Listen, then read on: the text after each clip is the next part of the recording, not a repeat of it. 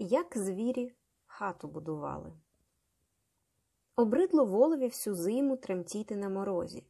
Не раз він думав собі не хочу я жити в холодній країні. Переживу сю зиму, перелітую, і як тільки птиця почне летіти до вирію, подамся і я до теплого краю. Пролетіло літо як один день, не встиг віл оглянутися, як настала осінь, мокра та холодна. Він гнувся, гнувся в загороді і згадав про теплий край. Настав день, віл піднявся і пішов з двору на городи. Побачили його півень та качка і питають Куди ти йдеш? Та тікаю від зими йду шукати літа. І ми й підемо з тобою. Що ж, ходім, гуртом веселіше буде. Вийшли вони з двору, а на воротях сидить кіт. Побачив їх і спитав Куди ви йдете? Тікаємо від зими, йдемо шукати літа. Візьміть і мене. Ходім, коли хочеш, гуртом веселіше буде. Пішли вони далі. Аж у полі їм зустрівся баран. Порівнявшись із ними, спитав Куди йдете, земляки?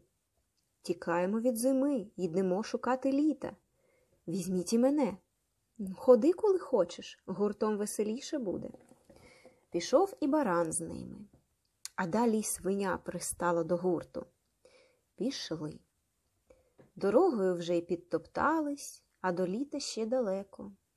Аж ось випав сніг, вдарили морози, занесло дорогу, далі йти не сила. Зайшли вони до лісу, забились у затишок і стали, тулячись один до одного.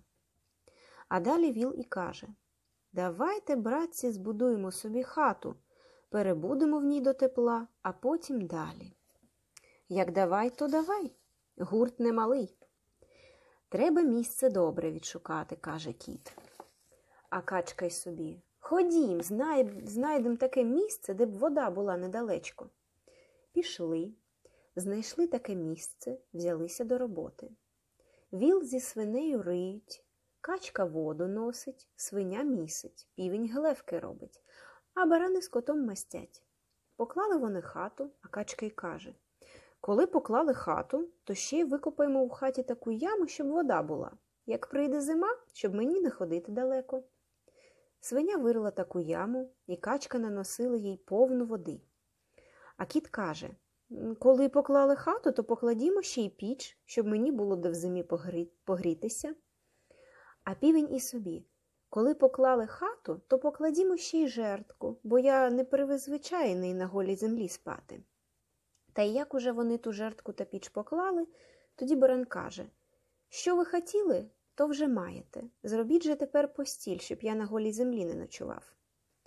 Пішли вони до лісу, наносили багато листу, зробили постілі для барана, і для свині, і для вола. Тоді віл каже Тепер ходім, назносім собі всякої поживи. Порозходилися вони всі, кожне взялося роздобувати поживи для товариства.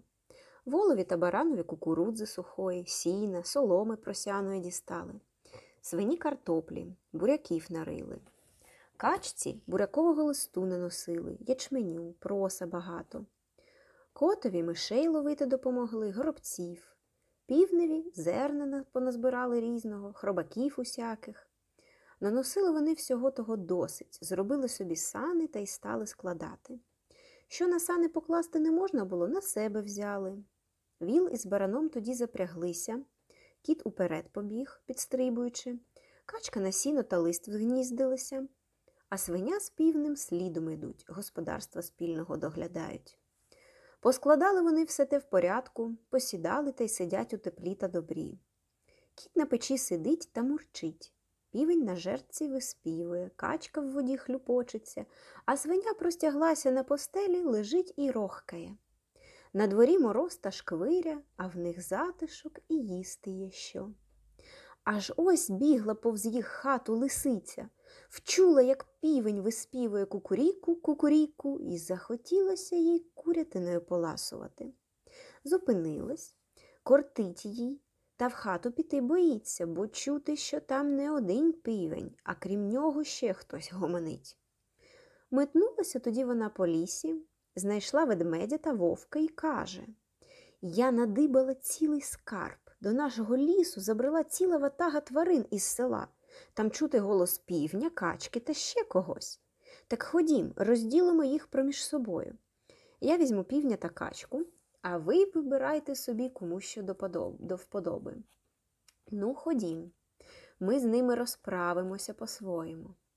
Підійшли вони до хатки і почали турбуватися, кому поперед йти в хату.